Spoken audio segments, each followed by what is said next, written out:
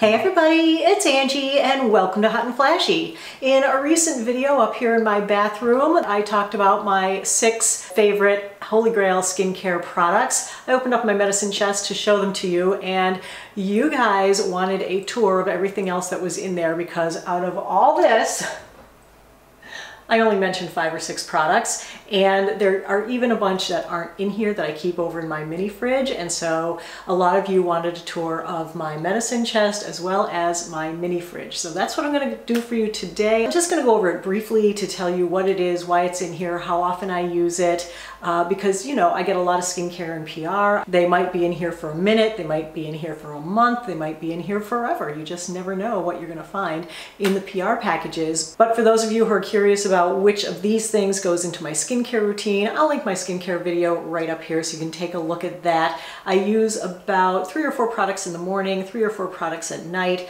Certainly not the, you know, I don't know what this would be, 25 or so products that are in here plus the mini fridge. So in the meantime, I'm gonna bring the camera closer so you can see what these look like and We'll walk through what's in here and then we'll walk through what's in my mini fridge. Let's start over in this corner. This is my melatonin. This helps me sleep. These are my lash and brow growth serums. The gold one is Babe Lash. That helps my brows grow in fuller. This is Revitalash in the silver. That helps my lashes grow in more full. And back in the back is my little face shaver. Can't remember his name right now. I'll put names to everything and links to everything in the information box below the video. Just in case I don't get the name right you can double check the name down there. It'll also have links for shopping if you wanted to buy anything.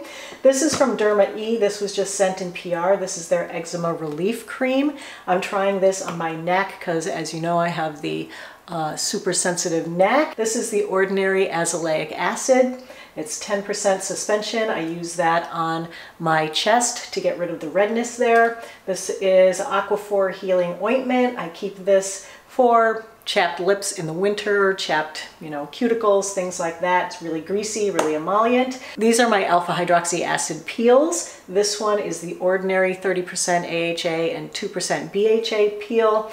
This one is a new one from Versed. I just got this in PR. This is the Doctor's Visit Instant Resurfacing Mask. I used this one once already. Didn't love it. This is the one I've been using for years, the Drunk Elephant TLC Sukari Baby Facial. 25% AHA and 2% BHA resurfacing mask. There, you leave it on for 10 minutes, you rinse it off. Um, I like this one the best. This one's a little bit more aggressive. This one's good for sensitive skin, and if you have super sensitive skin, I'd say the Versed is pretty good.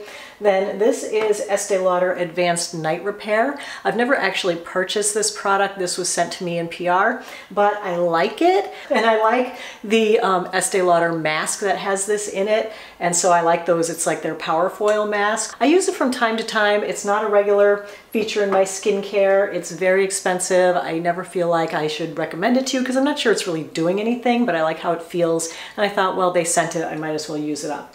This is my Colleen Rothschild Smooth and Shine Hair Serum.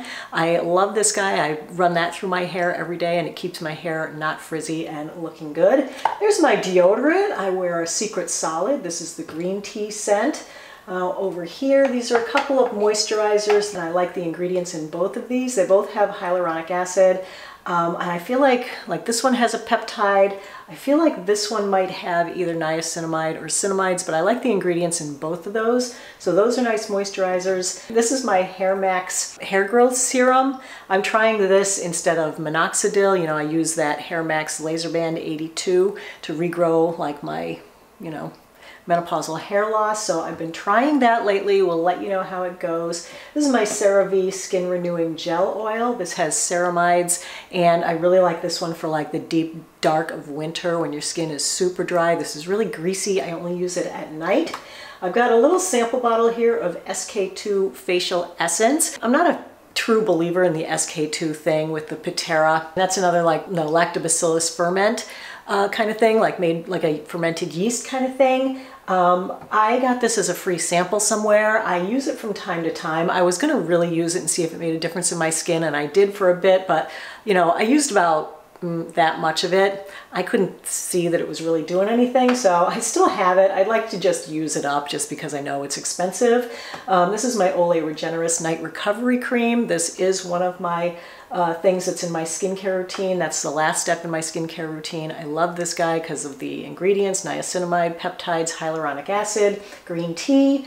This is the It Confidence in a Gel Lotion. I purchased this uh, maybe six months ago or so in the previous Sephora sale. I like that one. It's a lightweight moisturizer that contains ceramides, so that's a good one.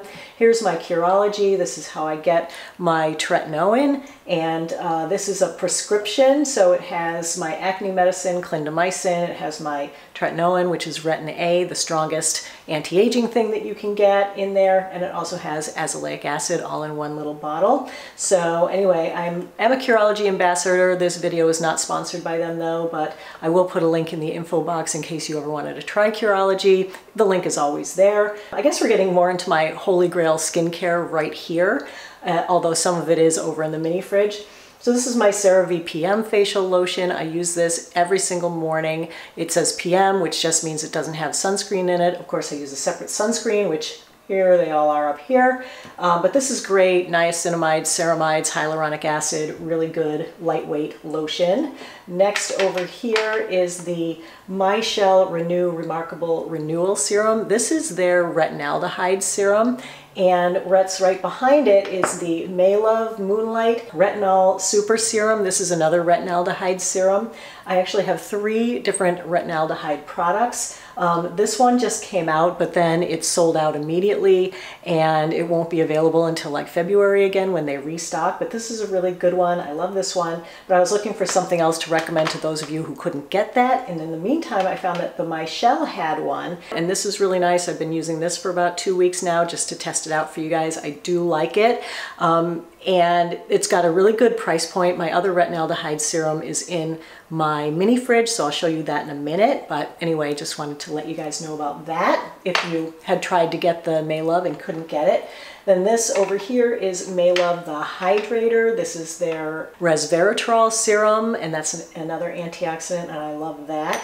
Here is my Timeless Matrixyl Synth 6. I actually buy it in the bigger bottle, then I fill up this little bottle, and that way I can more keep track of how often I'm using it. You guys know that I use a lot of Timeless products in my skincare routine, and I just wanted to mention uh, that Timeless, you know, I've always had this Timeless code HF5 off for $5 off your order. Well, Timeless just discontinued my code about uh, two or three weeks ago and they are still offering the discount for my viewers so don't worry you can still get the discount but you can't use the code anymore. Now you have to use the link below my video so look for the link down below. Your discount will be automatically applied at checkout so use that link now instead of the old HF5 off code. And then hiding behind there is another Versed product. This is their Dew Point Moisturizing Gel Cream. This has green tea in it and I use that from time to time. It's a really lightweight lotion. I really like that one. Then the third shelf up here, this is mainly my sunscreens. So let's start over here in this corner. I've got a couple of Neutrogena ones, the Ultra Sheer Dry Touch Sunscreen 100 Plus. This is a chemical sunscreen. I don't use it that often, but I do like to keep it on hand for if I'm gonna go out paddleboarding or bike riding and I want like super high SPF protection. That's the one that I'll put on. Um, then this is my Holy Grail sunscreen that I use every day. It's the EltaMD UV Elements SPF 44. That's my Holy Grail every day. I also have the Neutrogena Sport Face Lotion. That's an SPF 70, also mainly just for if I'm doing like sporty type stuff.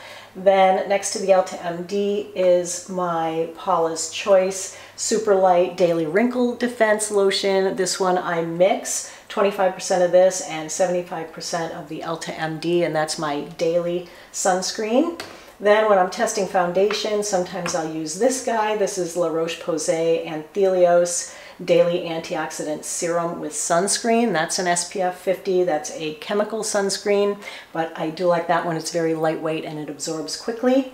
Uh, what it was in front of there is the Derma E Essential Sun Protection Mineral Powder SPF 30. Mineral powder is a great way to top up your sunscreen. So it has this little brush and you just apply it later in the day. And what's hiding in the back there?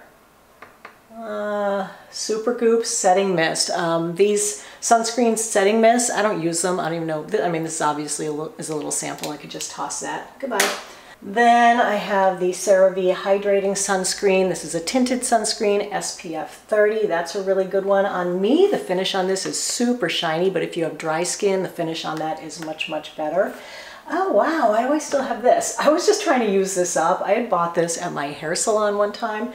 Colin SPF um, 60. I think it's an all mineral sunscreen, I wanna say, yeah. I didn't like it, but it was expensive and I wanted to use it up, so I had just been using it like on my chest and the backs of my hands. This is another one of my Holy Grail sunscreens. It's the Australian Gold Botanical Tinted Face SPF 50 BB Cream in the medium to tan skin. This is almost empty. I just ordered another one of these. This is another Holy Grail sunscreen. This is my Make Prem UV Defense Me Blue Ray Sun Fluid. That is an awesome one. I tend to use these guys on my face and my neck, and then I use this on my chest and the backs of my hands every day. Then this is a newer sunscreen that I really like. This is the Olay Regenerist Mineral Sunscreen. This is an SPF 30, and it's really nice and lightweight. My goodness, then here's my face self-tanner that I use. It's the Coola Sunless Tan anti-aging face serum. I really like this, so I use that in the summer when I'm tanning my face. What do we have back here? Oh my gosh, this is so old. I should probably throw that one out.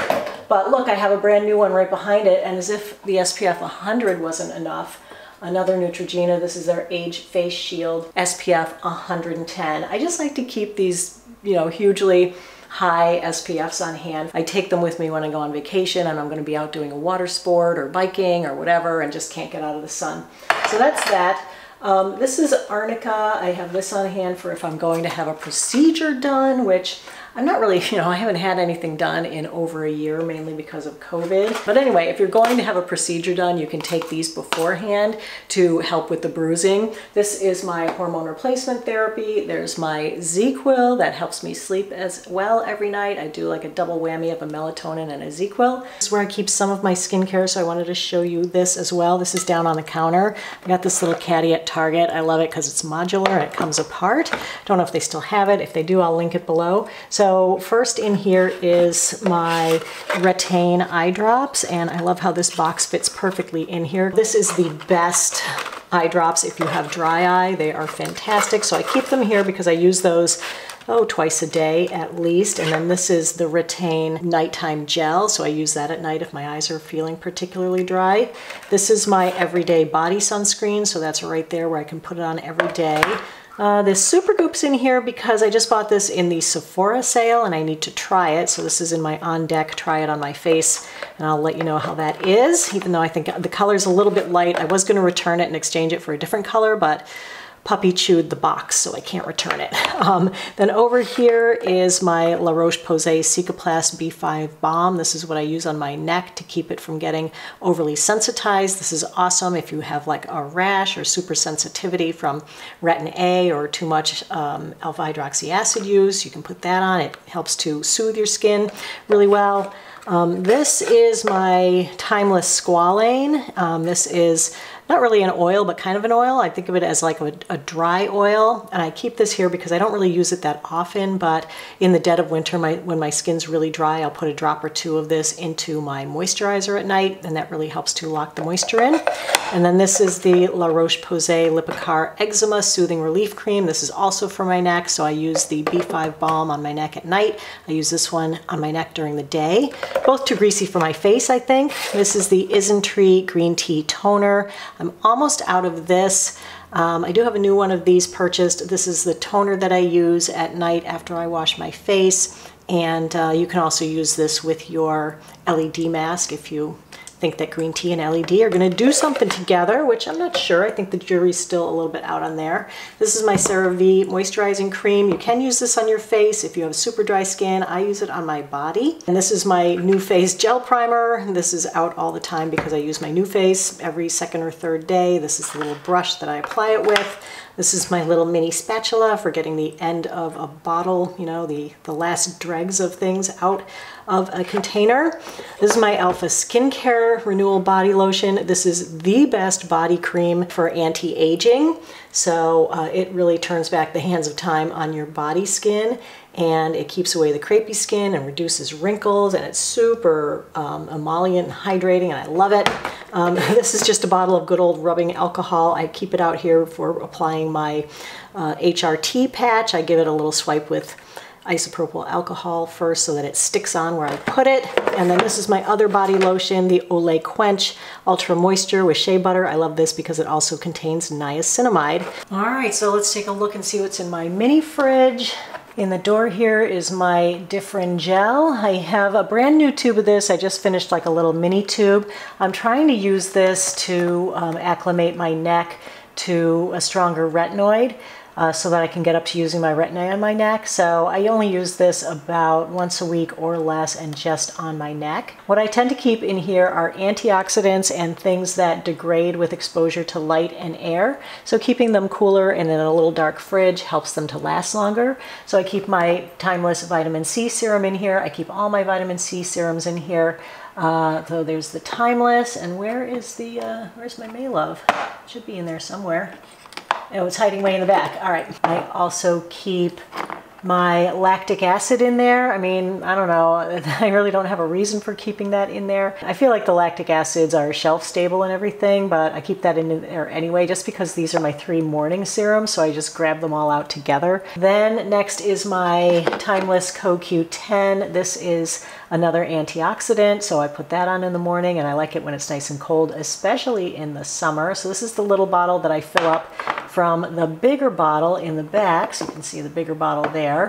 And then this is the Inkey List lactic acid. This doesn't really need to be in there either. What I'm thinking is that actually those retinaldehyde serums, the Maelove and the Mychelle should actually be in here and the lactic acids shouldn't be. So now that you're making me think about what I'm doing, I think I'll take these two out and swap the other two in. Because retinaldehyde is notoriously unstable and so that should definitely be in there. So I'm gonna put those two in. Here's the other retinaldehyde. This is the Avène Retinal 0.1. This is the Derma E uh, vitamin C Bright Eyes. These are little gel eye patches. I like to keep them in there so that if I if my eyes are feeling tired, I can put those on and they're nice and cool as well as having some great ingredients. Then I do keep my generic tube of tretinoin in here just because I don't use it that much and it takes a long time to go through this because I really just use it on the backs of my hands and my chest and maybe once a month on my neck or so. So that's in there. And then there's my Maelove the Glow Maker. That's my other vitamin C serum that I like. And hey, where's my Dr. Brenner's? My Dr. Brenner's vitamin C serum should be in there, but I don't see it. And then I also keep my face masks in here for when I'm feeling like doing a face mask. I like them to be nice and cold. Uh, so this is my Estee Lauder Advanced Night Repair Mask. I love the mask because it's the power foil mask, so it's got like a foil overlay, so it keeps the mask really moist. And then this is my other favorite moisturizing mask. It's the Isntree Hyaluronic Acid Deep Moisture Water Mask. So that is everything that I keep packed in to my mini fridge. Let's see, rearrange things in here.